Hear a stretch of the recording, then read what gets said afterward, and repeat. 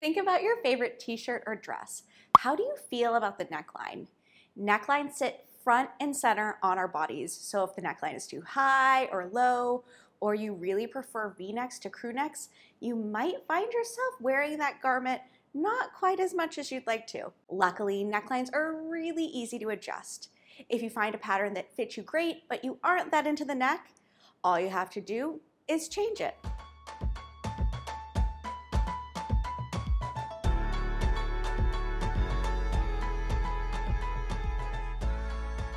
When you're working from a lower neckline to a higher neckline, you need to reverse engineer the shaping. This is because the pattern maker has built shaping into this lower neckline. Something with a lower neckline will typically have a flatter shoulder slope, and something with a higher neckline will typically have a more sloped shoulder line. This was drafted to account for the delta between your high point shoulder and your shoulder point. To transform a low neckline into a crew neck, we'll need essentially to work backwards. It is safe to assume that when drafting a scoop neckline or a V neckline, a pattern maker has accounted for the hollow of your shoulder. This is true for the Orlando t-shirt, and I'm gonna use it as an example. So here's how to create a crew neckline working with the assumption that your hollows are already considered.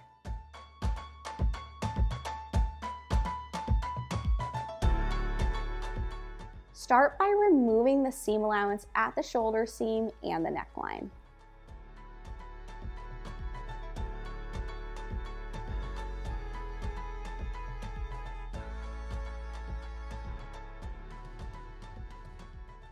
Then determine the desired width and depth of your neckline. The easiest way to do this is to hold the cut pattern piece against your body. Align the center front of the pattern piece with the center line of your body and align the shoulder seam with your shoulder. Lay your pattern piece on your working surface and tape a piece of pattern paper underneath the existing neckline. Use a ruler to measure how far you'd like to extend the center front and the shoulder seam. Here, I'm extending the center front by 5 inches and the shoulder seam by an inch and a half.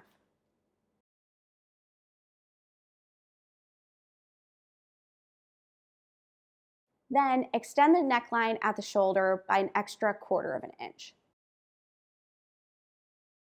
Then redraw that shoulder seam. Then redraw the neckline with a French curve.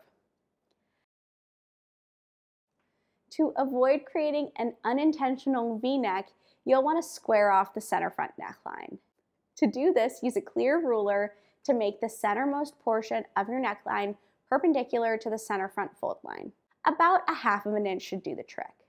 Add seam allowance to the front neckline and the shoulder seam.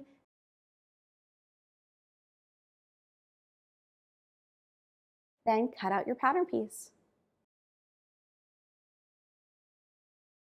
Now let's draft the back neckline. Tape some pattern paper below the neckline of the back piece, then extend the shoulder seam by the same increment as the front.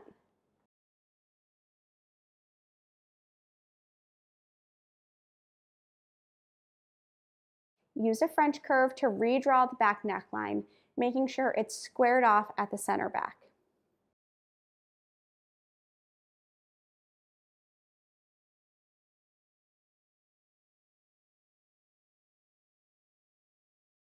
Again, extend the neckline by a quarter of inch to account for the higher neckline, then redraw that shoulder seam. Add your seam allowance and then cut it all out.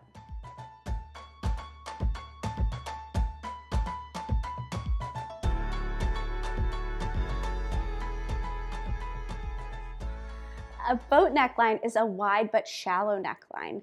This particular neckline intersects the hollows of the shoulder slope so that's the only pattern accommodation needed beyond redrawing the neckline. I'm going to show you how to transform a round neckline into a boat neckline using the Bo top as an example. Note, if you're working with a top like Orlando, which already has a pretty wide neckline, you can just skip contouring the shoulder seams and just redraw the neckline.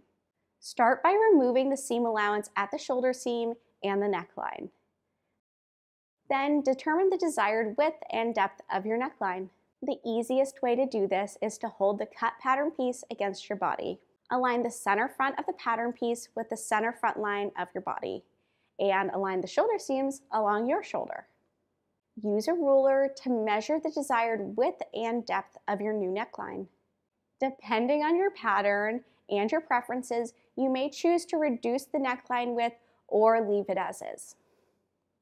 In this example, I raised the neckline by 3 inches and widened it by 1 inch.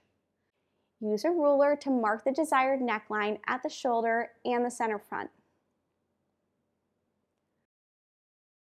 Then redraw the neckline with a French curve. Reduce the neckline at the shoulder by a quarter of an inch and then redraw that shoulder seam.